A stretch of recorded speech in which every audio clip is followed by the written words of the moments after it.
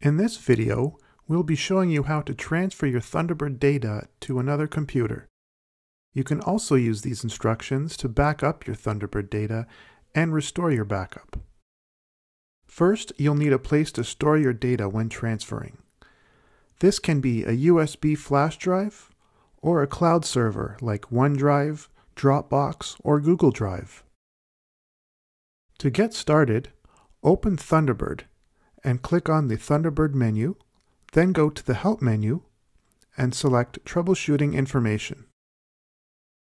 Click on Open Folder, and this will open your Thunderbird Profile Data folder in Windows Explorer.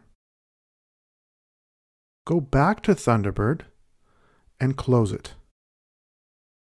From your Thunderbird Profile folder, go up three levels to the Roaming folder right-click on Thunderbird folder and select Copy. Now, go to the drive you are using to transfer your data. Right-click inside the drive and select Paste.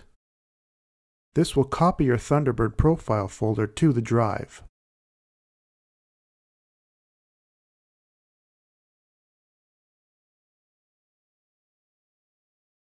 Now on your destination computer, Right-click on your backup profile folder and select Copy.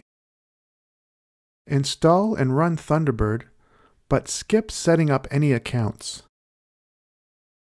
Click on the Thunderbird menu, then go to the Help menu and select Troubleshooting Information.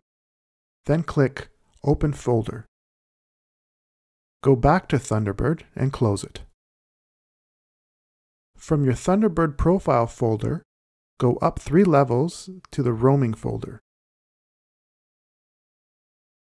Here, right-click anywhere within the folder and select Paste to copy over your Thunderbird profile folder. When prompted, choose to replace your current data. Now just verify that you have copied your data by starting Thunderbird.